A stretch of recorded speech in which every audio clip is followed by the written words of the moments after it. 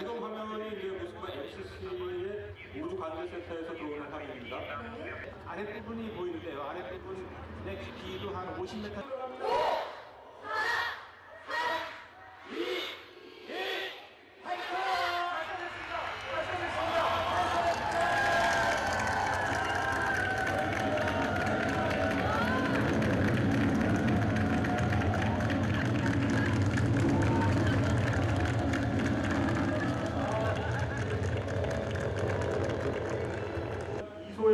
씨의 모습이 보이고 있습니다.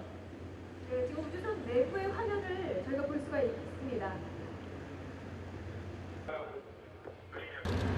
이제 우리는 지상에서 우주의 시대를 이제 열게 되었습니다.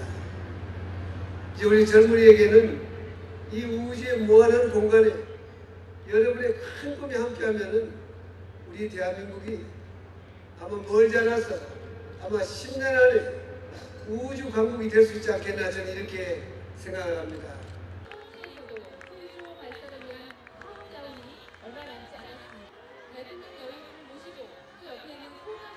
그 순간 이소연 씨의 모습이 보이고 있습니다. 아 진짜 너무 좀, 좀 재밌고 게다가 너무 신비스러우니까 우리나라가 또 이제 우주 강국이 됐다는 마음에 진짜 저도 이제 감동스럽고 우리나라의 더 훌륭한 인자가 되고 싶다는 생각이 더 되고 싶었어요.